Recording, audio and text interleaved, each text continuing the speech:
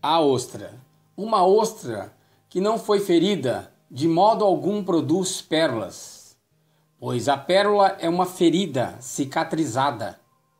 Pérolas são produtos da dor, resultado da entrada de uma substância estranha ou indesejável no interior da ostra, como um parasita ou grão de areia. Na parte interna da concha é encontrada uma substância lustrosa chamada nacar. Quando um grão de areia penetra nela, as células do nacar começam a trabalhar e cobrem o grão de areia com camadas e mais camadas para proteger o corpo indefeso da ostra.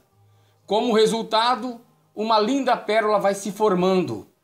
Uma ostra que não foi ferida de modo algum produz pérolas, pois a pérola é uma ferida cicatrizada.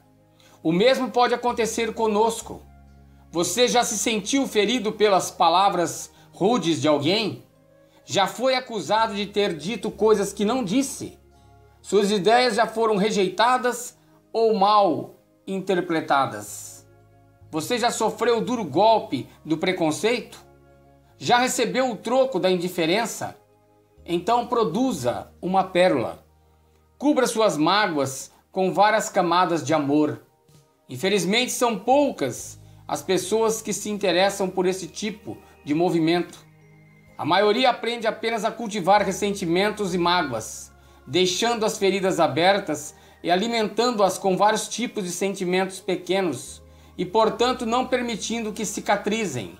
Assim, na prática, o que vemos são muitas ostras vazias, não porque não tenham sido feridas, mas porque não souberam perdoar compreender e transformar a dor em amor. Um sorriso, um olhar, um gesto, na maioria das vezes vale mais do que mil palavras.